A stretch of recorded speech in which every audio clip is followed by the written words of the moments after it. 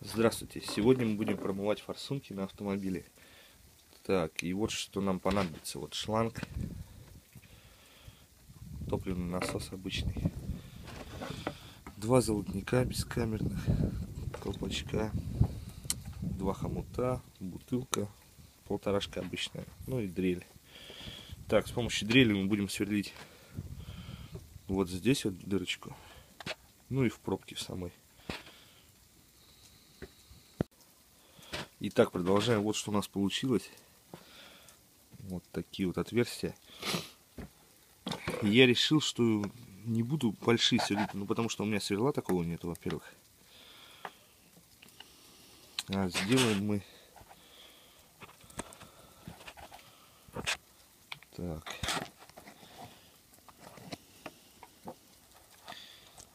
Сделаем мы проще.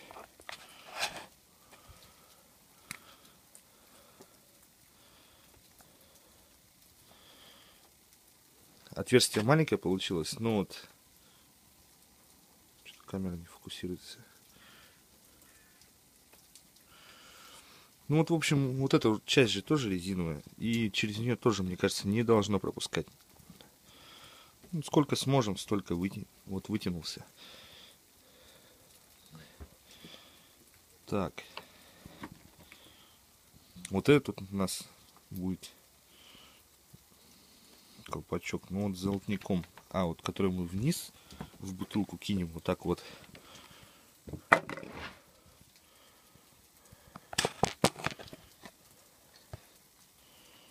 Так, наверное, мы не попадем так просто-то его. Какую-то проволоку нам надо. Так, есть проволока.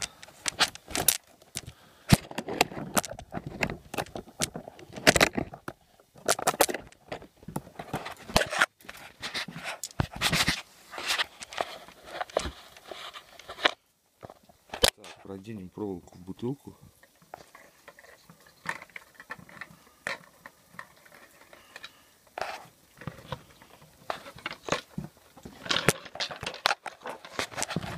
Сейчас покажу.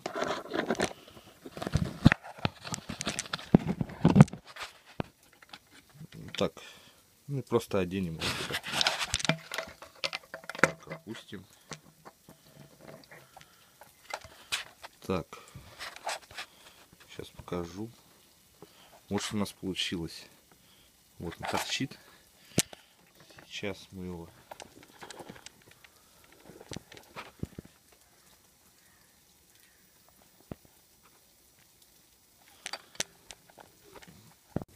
Итак, друзья, вот что у меня получилось. Вот к нижнему колпачку я одел шланг вот он висит. Так, ну а верхнюю крышку мне пришлось переделать, потому что из, ну вот отсюда вот.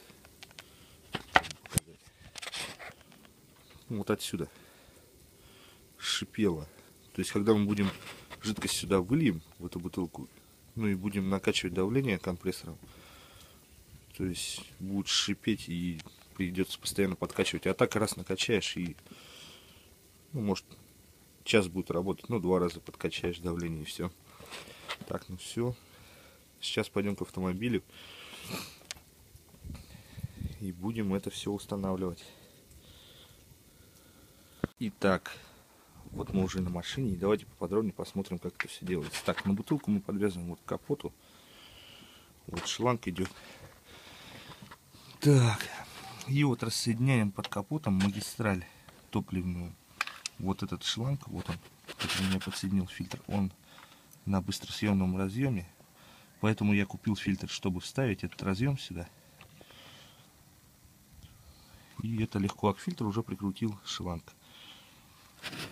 Так, дальше это там пошло в бак, а это идет непосредственно к рампе питания от бензина.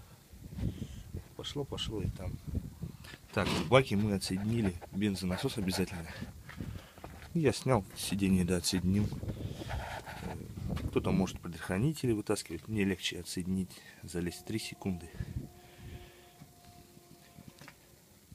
Итак, У меня топливная рампа без обратки. Если с обраткой, нужно обратку еще перекрывать. Вот там, думаю, легко догадаться что-нибудь. Какой-нибудь болт засунуть, да затянуть также в шланг. Так, подвесил также насос. Вот мы будем одевать его на бутылку вот сюда. Качать воздух. Так, так как у меня вот не работает манометр на насосе, я вот с рампы есть выход с ниппелем. Ниппель я выкрутил и подсоединил вот такой прибор. Вот смотрите, даже воздушный с Урала. Датчик воздуха. Вот на Урале такие стоят, вот написано даже песок, пашня, болото. И когда насосом накачаю, ну, около 4, там, три с половиной давления, все, я буду знать уж какое у меня давление здесь. Так, следующим этапом будем жидкость заливать. Потом накачаем давление, посмотрим, нигде ли не бежит. И все, будем заводить жидкость. Кстати, хочу показать, какая.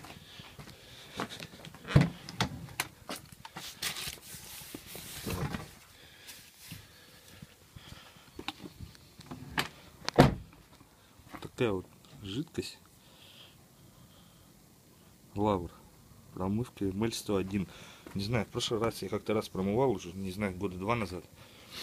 И я использовал блин забыл на М как-то а Винс Винс на М на В ну как-то он мне не очень понравился ну хотя ощутимо помогло все сразу лучше заводиться стало но он не такой активный. Ну, попробуем лавр. Так, ну давайте, сейчас я залью, это мне неудобно, и потом будем заводить. Итак, вот мы залили жидкость. Ну, один литр в этой бутылке, вот где-то вот так. Так, все проверил на два раза, потому что все-таки жидкость горючая. Так, давайте будем пробовать накачивать.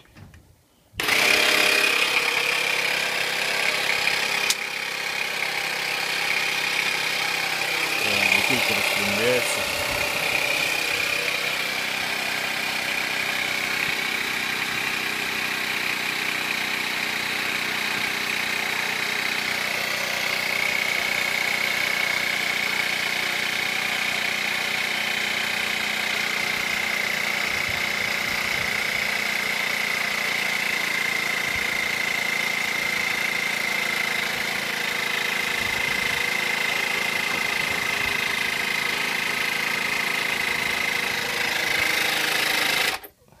Я думаю, три достаточно. Смотрим на предмет подтеков. Но я не вижу. Как бы нигде не бежит, не шипит. Давление держит. Три. Так, давайте будем пробовать заводить.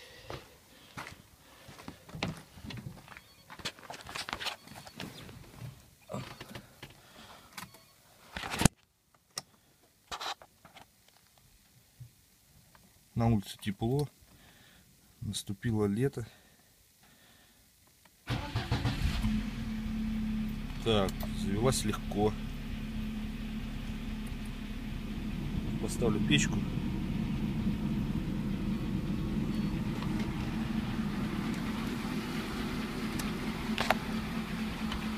Так, работает немножко нестабильно. Думаю, может воздух в форсунках. Давление чуть-чуть упало. Давайте накачаем.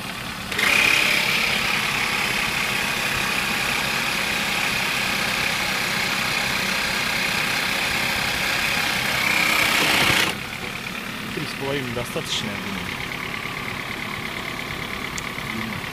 Так, не стало ровнее работать. Вообще здесь давление насоса 3,8 давит. Ну, 3,5 на холостых, я думаю, достаточно. Так, и так она будет работать, пока эта вся жидкость не уйдет. Но это я вам скажу примерно час, даже больше. В прошлый раз я делал, я залил грамм 700, и она у меня тарабанила где-то час 20. То есть на холостых она ест очень-очень мало. Ну, это автомобиль Лада Приора, вы уже, наверное, догадались. Так, все сухо. Я, наверное, буду ходить домой, проверять из дома. Потому что опасно все равно. Так, ну давление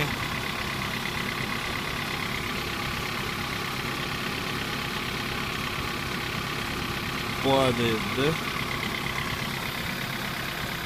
Падает, а падает оно, скорее всего. Почему я вообще начал промывать? Потому что она у меня плохо заводится, когда долго стоит.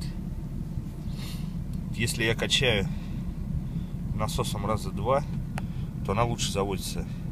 Хотя вот этот манометр я подсоединял и э, то есть нормальное давление насос создает. Но заводится она плохо. Я думаю, что у меня льет форсунка. Вот. Сейчас покажу средний расход 7,9. И то это я ехал с города. А вот если я езжу на работу, у меня показывает 8,2, 8,4 средний. Но она никогда столько не ела. Зимой она у меня обычно больше 7,4 не показывает. То есть я думаю, что у меня какая-то форсунка заклинила. Или переливает очень сильно. Так, ну ладно. Посмотрим потом результат. Итак, у нас уже машина потрахтела минут 20. Вон сколько жидкости осталось. Ну, много съела. Так, ну здесь написано вот в инструкции, что нужно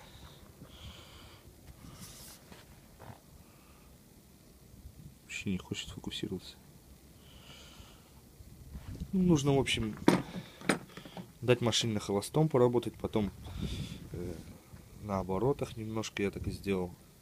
И дать постоять минут 10-15, чтобы форцунки разъела. Так, ну будем ждать где вот постоянно подкачиваю топливо насосом. Почему-то быстро падает. Ну, я думаю, может быть, мой компрессор пропускает. Я-то не отсоединяю. Если отсоединять, может и не будет так быстро. Так, ну будем ждать. Так, смотрите.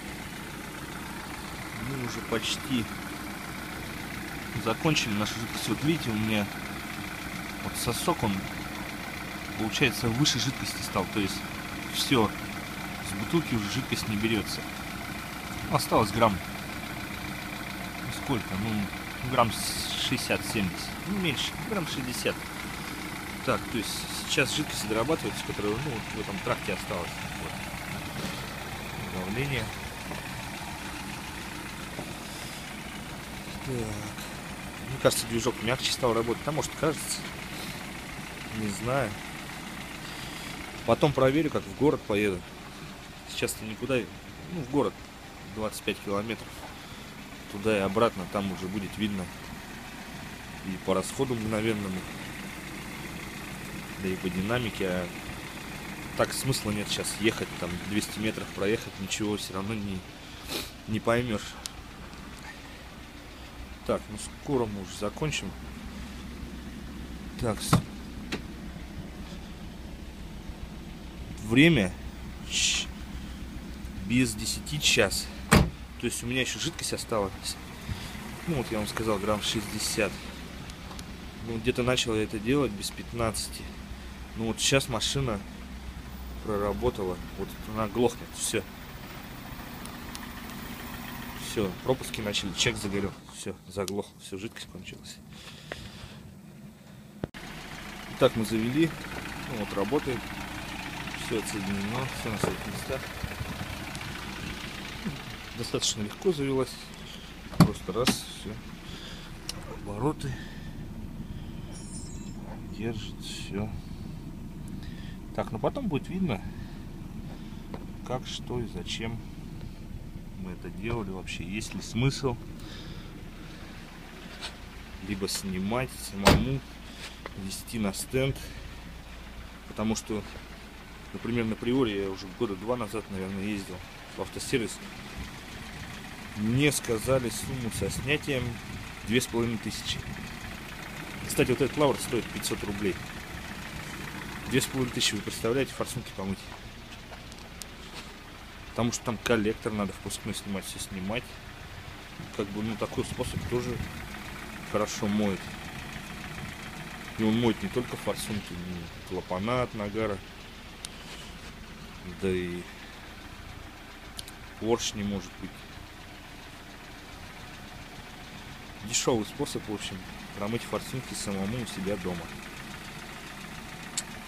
200 рублей топливный фильтр, там кусок шланги 100 рублей, хомуты и жидкость. В общем, рублей ну, 850 вы уложитесь. Как бы если вам также промоют на станции, я думаю, это не дешевле полутора тысяч рублей будет стоить. Не знаю, честно говоря, по станциям я вообще не езжу. Можно все самому сделать. Ладно, всем спасибо, до свидания.